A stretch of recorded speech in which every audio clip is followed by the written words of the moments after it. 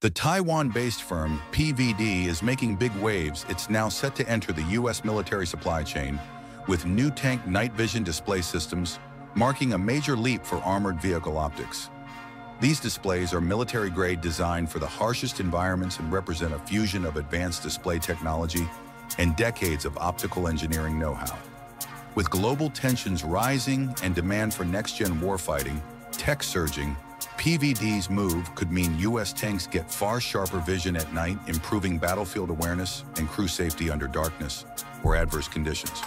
For PVD, this deal could open doors to further big-ticket contracts.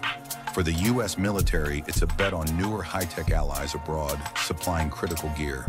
The impact could extend beyond armor, possibly influencing future contracts for infantry optics and other night vision gear.